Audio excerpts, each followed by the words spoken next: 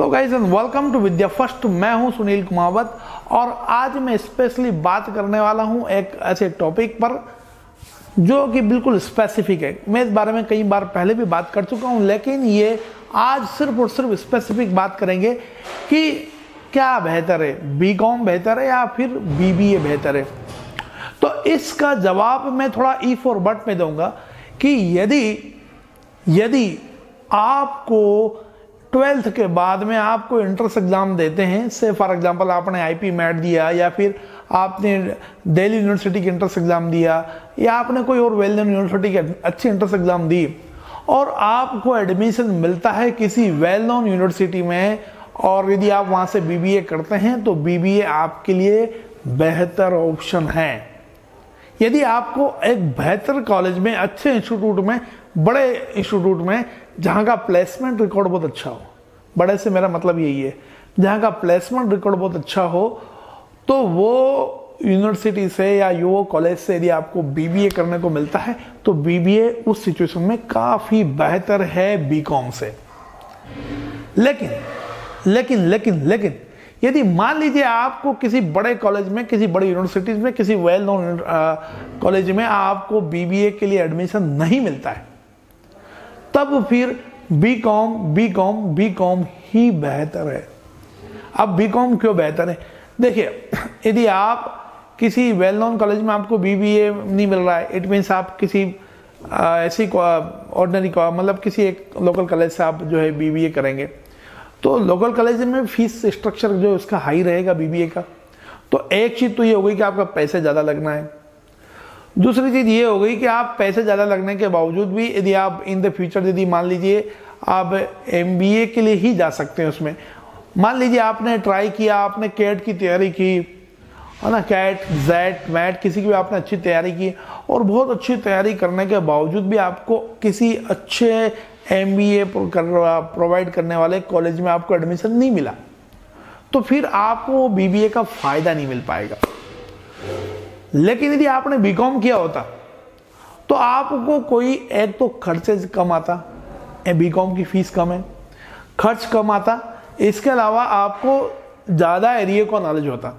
BBA में आपको सिर्फ़ मैनेजमेंट से रिलेटेड चीज़ें पढ़ाई जाती है, लेकिन बीकॉम के जो मेन तीन सब्जेक्ट हैं मतलब यदि आपके कॉमर्स के जो तीन सब्जेक्ट हैं, आपका मैनेजमेंट भी हो गया उसमें इकोनॉमिक्स भी हो गया, और आपका अकाउंटेंसी भी हो गया। तीनों सब्जेक्ट का आपको नॉलेज मिलता है, पहली चीज़। दूसरी चीज़ ये कि आप बी के बाद आप आराम से आप एम कर सकते हैं और एम आप अकाउंट में कर सकते हैं। एम मैनेजमेंट में भी होता है और एम अकाउंट में भी होता है। तो मैं एम की जब बात कर रहा हूँ तो मैं एम अकाउंट की बात कर रहा हूँ। एम अकाउंट में आप कर सकते हैं।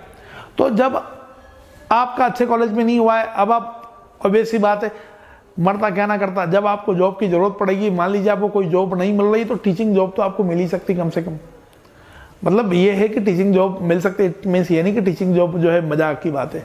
टीचिंग जॉब मिलना कोई आ, आ, मतलब ऐसी मज़ाक की बात नहीं है। उसमें भी काफ़ी मेहनत लगती है काफ़ी टाइम लगता है बहुत कुछ लगता है। और एक अच्छे लेवल पर पढ़ाने के लिए तो काफ़ी टाइम भी लग जाता है और काफ़ी इफर्ट्स भी लगते हैं। लेकिन हाँ आपकी शुरुआत ज़रूर हो सकती है। तो बुरी से बुरी सिचुएशन में भी जो है बी कॉम और एम कॉम का जो कॉम्बिनेशन है, वो आपके लिए ज़्यादा बेहतर रहेगा। इसलिए मैं कहूँगा कि यदि आपको बहुत बेहतर कॉलेज में एडमिशन नहीं मिल रहा है बीबीए के लिए तो बी काम उस सिचुएशन में आपके लिए ज़्यादा बेहतर है, क्योंकि इसकी कॉस्ट कम है, क्योंकि इसमें जो नॉलेज का एरिया है वो वास्ट है। क्योंकि इसके बाद आप एम कॉम अकाउंट में भी कर सकते हैं, लेकिन बीबीए में ऐसा आप नहीं कर सकते हैं। इसके अलावा बीबीए के जितने भी ऑप्शन हैं, यानी कि बीबीए के थ्रू के बाद में आप क्या सोचेंगे? एमबीए करेंगे बस। और एमबीए करेंगे तो कहाँ से करेंगे? बड़े अच्छे कॉलेज से करेंगे। तो वो तो बी के बाद भी हो सकता है। बी के बाद भी आप केट की एग्ज़ाम दे सकते हैं। बी के बाद भी आप जेड की एग्ज़ाम दे सकते हैं। बी के बाद भी आप सारी इंट्रेंस एग्ज़ाम दे सकते हैं, जो भी चीज़ आप बीबीए से कर सकते हैं, वो सारी चीज़ें आप बीकॉम से भी कर सकते हैं। तो फिर ज़्यादा पैसा लगाने का ज़रूरत क्या है? फिर एक और बात भी बताता हूँ। एक और बात ये कि आपने बीकॉम किया है, अब बीकॉम में आप थोड़ा बहुत कम पढ़ाई भी करेंगे तो चल जाएगा। ज़्यादा रेगुलर कॉलेज नहीं गए तो भी चल जाएगा। अब आपका विचार है कि यार साथ में बैंकिंग की तैयारी कर लूँ तो आपको बैंकिंग की तैयारी करने के लिए आपको टाइम मिलेगा। आपका विचार है कि यार एसएससी की तैयारी कर लें, चलो एसएससी की तैयारी आप कर सकते हैं।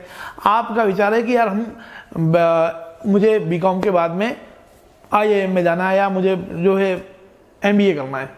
तो आप कैट की तैयारी भी आप अच्छे आराम से कर सकते हैं, क्योंकि आपके पास ज़्यादा टाइम मिलेगा, ज़्यादा स्पेस मिलेगा। तो अपना पैसा जो है आप सही जगह लगाए। आप, से फॉर एग्जांपल आप मान लीजिए आपके बीबीए करने की कॉस्ट आ रही है टू लाख रुपीज़ आ रही है। और बी कॉम करने की कॉस्ट आपकी आ रही है, ज़्यादा सेवेंटी फाइव थाउज़ेंड आ रही है, मान लेते हैं। मैं बिल्कुल मान रहा हूँ, किसी भी बिल्कुल बिल्कुल भी फैक्ट नहीं है। तो सेवेंटी फाइव थाउज़ेंड आ रही। तो या वन लाख मान लेते हैं। वन लाख तो लगती भी नहीं, खैर। लेकिन वन लाख मान लेते हैं। तो भी आपके वन लाख रुपीज़ बच रहे हैं। तो जो वन लाख रुपीज़ बच रहे हैं, उसको आप जो किसी एंट्रेंस एग्ज़ाम की तैयारी करने में लगाएँ, या आप किसी कॉम्पिटेटिव एग्ज़ाम की तैयारी करने में लगाएँ तो आप जो है ज़्यादा आपको ज़्यादा एडवांटेज मिल पाएगा। खैर तो आई होप कि मेरे कहने का कंक्लूजन जो है वो आपको समझ में आ गया होगा कि बीबीए या बीकॉम में से क्या बेहतर है। अधिक जानकारी के लिए नीचे दिए हुए नंबरों पर मुझे संपर्क करें कॉल ना करें। सिर्फ़ व्हाट्सएप आप कर सकते हैं। अपना नाम और अपने डिटेल वगैरह आप भेजें। आप नाम और अपने बारे में इट मीन्स आप आ, आप फ़िलहाल आप आपकी इच्छा क्या है कौन सा कोर्स आप करना चाहते हैं इसके अलावा आप S T S C B किसमें आते हैं, ये भी बड़े मायने की चीज़ है। तो ये चीज़ें मुझे आप थोड़े बहुत इन्फॉर्मेशन आपकी जो है व्हाट्सएप पर शेयर कर सकते हैं और आप पर्सनल भी चैट कर सकते हैं। खैर, फिर मिलते रहेंगे, तब तक के लिए अलविदा have a great day thank you very much